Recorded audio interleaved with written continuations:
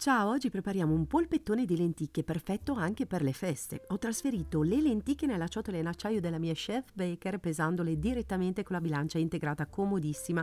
Ho insaporito con spezie, prezzemolo, aglio, senape, succo di limone olio evo e ho lavorato qualche minuto con la frusta K.